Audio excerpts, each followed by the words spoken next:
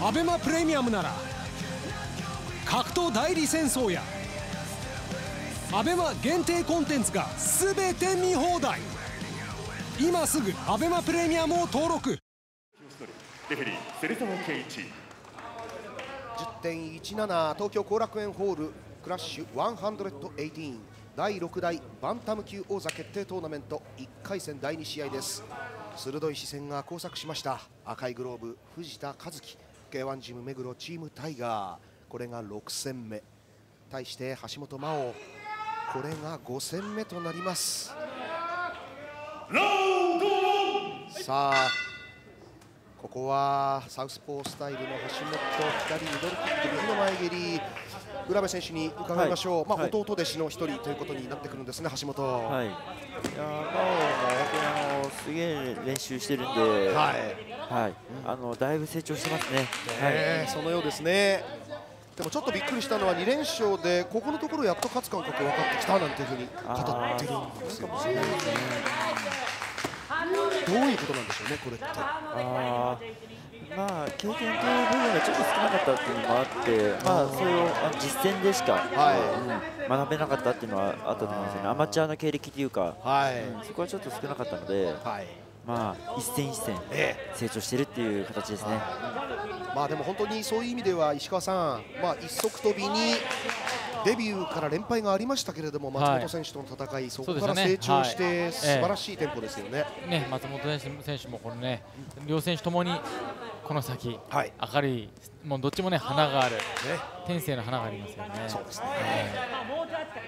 まあ、藤田サイドから見ますとアマチュアで対戦して、ルールもラウンド数ももちろん違うけれどという前提の中で、これ相性いいって語ってるんですよね。てますからね、でもそういうふうに自分が思うっていうのは一番大事なんですよ、ははい。い勝ったっていう実績がまずあるし、その中で自分が絶対に相性がいいと思えてる、それでこの、ね、プロのリングに立って、もう一回再戦してるというのは、えあの藤田選手にとっての有利な部分ですね。はい中島さん、はい。やっぱりモデルであっても俳優であっても、これ準備万端で自信あるぜって時って違うでしょうね。いやそうですね。僕はあんま自信ないんですそうでしたか。うん。でもまあ2人からはもうそういうものこう立ち上るように見えませんか？そうです。最初立ち会った時はお互いの目線というか目がもうすごいことになってちょっと怖いぐらいでしたよね。そうした中で激しい蹴り合い、思い切り、一発一発という前蹴りもローキックもというのが橋本、青いグローブ。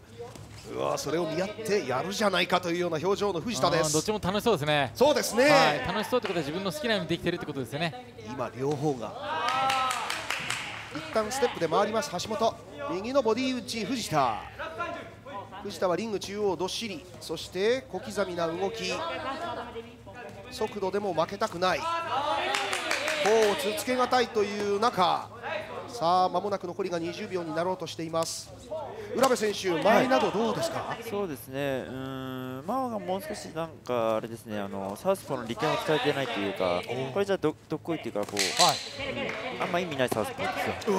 うそうですか。んな気がするんで、もうちょい、はい。うん、うん、って感じになりますね。ちょっと興味深いところインターバルに伺おうと思います。最後にミドルキック橋本パンチで藤田。第1ラウンド終了です。さあ浦部選手、はいはい。そこが大いに気になりました。そのサウスポーの利点ですよね、そうですよね、はい。あのやっぱり距離の外し方だったりとか、ポジションがやっぱ一番大事だと思うので、少しこう、あの相手がやりやすいポジションに入っていると思うので、もう少し相手を嫌な動きをさせなきゃなっていう感じはありますね。相手が嫌なことをやんなきゃいけないとは思うので、はい。そこをもう少し進めてほしいですね。そうですか。まあ戦略ないですからね、言えること言えないことっていうのが今、はい。だいぶあるとはお察ししますが、中島さん、その横でもう先ほどからちょっと身振り手振り入れながらうんうんってうなついてましたね。いや本当勉強になるというか、ええ。すごいもうそんな深いところまでい。ろいろあるんだなって思いますね。頭すごい使ってるんだな。っていや 本当ですよね。とこですよね。はうん。さあそんな中で第2ラウンドに突入してまいります。こちら橋本。対して赤いグローブは藤田。アマチュアでの対戦ありプロでのこの大舞台。タイトル争奪のトーナメント。もう次の戦い準決勝で戦うのが萩原修斗と決定はしています。そんな中で石川さん、はい、動かしたいでしょうねこのラウンド、うん、そうですね。さっきね荒野選手が言ったようにサウスポーの利点っていうのはやっぱりそのサウスポーの攻撃じゃないと当たらない距離ってあるんですよね、はい。うん、それを技を誘って誘ってで自分の攻撃しか当たらない距離でパンチを当てる、うん、刺すというかですね、はい、今この2人のリズムだとどっちも距離が変わらないですよね。サウスポーの距離オーソドックスの距離どっちの距離でもあるんですよ、はい、どっちの左ミドルも当たる。どっちの右ミドルも当たる、はい、どっちの左ストレートも当たる。どっちの右ストレートも当たるって同じ距離なのでそこを変えていくっていうのがね、まあ、まさに浦部浩也選手のね、え。えー、そうですね、うん、技術、テクニックですからね、はい、浦部選手、はい、どうですか、それ分かって戦っているのか、どうなのか、まあ、まあ、あのー、ちょっと、はい、倒しに行きたい子なんで、あのやっぱ気持ちが出てる感じはしますね、うん、そのさじ加減でしょうね。はい、うわここも近い、逃げくさらにロングレンジ、ミドルキックも忘れません。足元のシャープな攻撃。ストレートこれは空を切りました。逆に右藤田の方が放っていきます。橋本選手のパンチいいなと思ったけど藤田選手もしっかり見えて、え。うん、いいですね。必ず返してますもんね、はい、いやこういうところ中島さんもうお互いもう必ず返しますよね。そうですね。このスピードでの打ち合いとか本当すごい見応えもありますね。ちょっと信じられないですよねあれだけ早く反応するっていうのは。本当に早い、えー、これが53キロというクラッシュの戦い。いいですね、ピッチャー必ず返すのがいいですね、えー、それがポイントで取られ,、はい、取られないので、ああいう戦い方をしていれば。石川さん、そこって一つ、藤田がこれ対橋本で相性いいっていうポイントなんでしょうかね。ちょっともあるでしょうね。はい。うん、石川、あ今パンチかわします。今トーナメント出場ファイターでは拓田和馬戦、峰大輝戦を経験しています。今日ははいどうぞ今今のところね橋本選手からの攻撃のが多いんですよね、はい、でも必ずそのもらった分、藤田選手を返してるし、はい、でも藤田選手の方からの攻撃のパターンがあ攻撃するっていう展開がまだあんまり多くないので、はい、見た目としては、はい、橋本選手は有利には見えてしまうんですけどね、えー、先手先手のはやっぱりね確かに。ジャッジは、先手を有利に見ます、ね、ちょっと下がりましたね、でも。右のストレート、藤田がチャンスと見たか。目の周り負傷があります。足元攻めてくる。攻めて返す。藤田のパンチが当たったここも攻撃の機会。伺いながらですが第2ラウンド終了。目尻ですね。そうですね。上かな？どっちだろう？まぶたですかね。まぶたですかね。はい。まぶたが割れたようになりましたか藤田和樹。この攻防は浦部選手に伺いましょうか、はいはい、あなんか最後のまとめとか良かったですね、真央。橋本選手詰めました、はい、ここ左、えー、よかったですね、はい、あれ蹴りがありましたからちょっとフェイント気味になったんですか？そうですね、はい、でもその後もしっかりとリターンがあります藤田のパンチ。いや中島さんまた面白くなりましたね、そうですね。これって切れるじゃないですか、はい、やっぱ切れ切れちゃうと何が一番その個人的に嫌なんですかね？ダメージなのか現役ファイターに、はい。ね、伺いましょうか。やっぱ視界だですよね一番は。はい、うん、やっぱり狭くなりますよね。とも思いますね。僕切れたことないんで分かんないんですけど。ごめんなさい。想像ですか？そうで想像です、えー、触れさせないで勝つ、はい、浦部浩也選手今日放送席についてくれています。石川さんはよく切れましたね。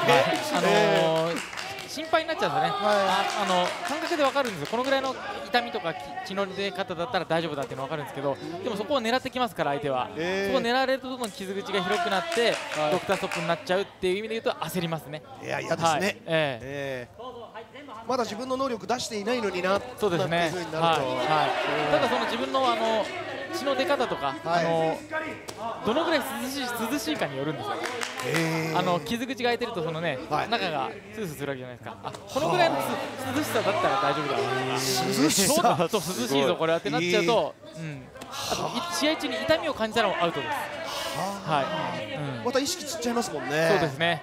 これぐらい痛かったらもう絶対止められるぐらいの傷だなとかも分かるし、はい、そういう意味で焦りますよね中島さん伝わったでしょうか？ものすごく伝わります、えー、涼しい。涼しいね。うわまあ修羅場です。ああでも今も攻撃にマウスピースが見えましたね。藤田笑いました。追いかけてくる。浦部選手、はい、距離感というとちょっとまた離れて橋本がまた回る。ように、ね、あの回るようになりましたね、え。ーうん、これが何を示すのかですね、うん、大いに気になります橋本距離感をキープしたまま右側に回る。これは浦部選手どうですか、はい、サウスポーの利点という点では見せられているのか？見せれてないですね。ない。すみません。はい。はい。ごめんなさい。厳しくて。えー、いやでも本当に。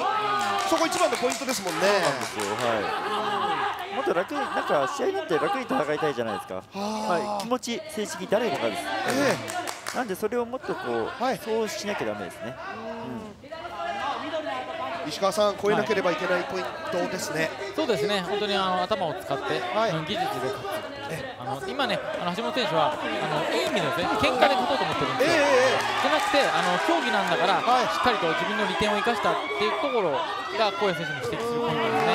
はい、これどっちかというと藤田選手の距離なんですよ。はい。はい。ああ今も右フック。そうですねこういうあの近い距離で細かいテンポで攻撃をしてくるっていうのは藤田選手のリズムなので。それをあの梶本選手はね技術があるからできるんですよ、えー、この距離に戦えるんだけど、ね、わ近い左のストレートさらにバリ打ちテンプルを捉えたまた傷口がさらに開いたか藤田のまぶたそこを狙ってくる時間が少なくなってくるすごくね今技術的にすごくいいスピードだったんですけど多分荒野選手はここでここで一歩引けばもっと楽なのになって思ってるんじゃないかなって思ってますね。このクラッシュでの。うんそうですか。喧嘩する必要ない、えー、する必要ないのになっていうテクニックでの戦いという点、はい、ちょっと下がればハイキック当たるのになとか、ちょっと下がればカウンター取れるにな取れるのになとかだと思います。これはまた一つ。いやでもいい試合でしたよ。えー、そうですね。いい試合でした。えー、スリリング、この上ない戦いでした。さあ延長1ラウンドは用意されていますが、あとは。まあ、ジャッジが石川さん、うん、どう判断するかというところ、そうですね、はい、あの延長もありえる、うん、いい試合でしたね。そうですね、はい、厳しく最高速でという争い。第6代クラッシュバンタム級王座決定トーナメント1回戦。さあ萩原修斗と相まみえるのはこちらの藤田か。橋本の方か。まもなく発表です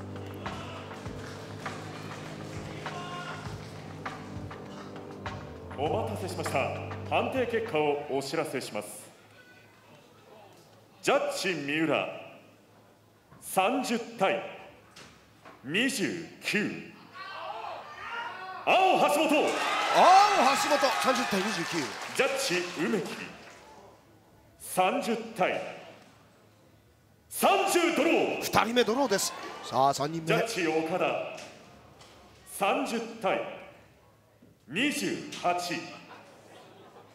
青橋本。橋本勝ちました。1人が30対281人が30対291人がイーブン。2対0準決勝進出。萩原修斗とぶつかり合うのは橋本真央と決定しています。厳しいしのぎ合いでしたさあこの戦いは弟弟子の勝利ですね。村也選手いや良かったです。あのー、やっぱ気持ちで勝った感じがしますね。うん。いい試合でしたでもどちらも本当に素晴らしかったと思います。そうですね。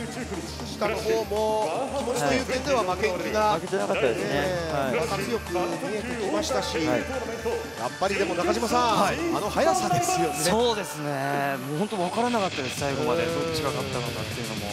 なんかライバル関係で、はいてほしいなっていう個人的なこの今後そうですよね、はい、そうですね。長く戦い続ければということになってくるでしょう。石川さんいかがでしたか？はい。やっぱりですねあのダメージとしてはあの五分五分だと思うんですけど、はい、先手だったのが、えー、うん、橋本選手。やっぱクラッシュのリングでね、はい、先手で速いスピードで攻撃をするっていうのは有利なポイントになるんだなと思いましたね。はい、いやきっちりそれを心得て橋本真央準決勝進出